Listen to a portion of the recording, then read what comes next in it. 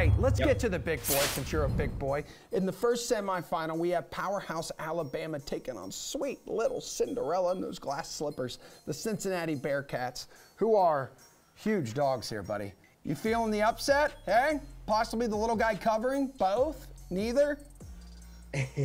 right. So two completely different questions, right? Thirteen. Can they can they lose by thirteen or less? Certainly. Can they win the game? I don't see it happening. Um, and Cincinnati deserves credit. Like they have good NFL players on their roster. They're not quite this little engine that, that could. Like they have an NFL quarterback. They have two of the top 10 cornerbacks in the NFL draft.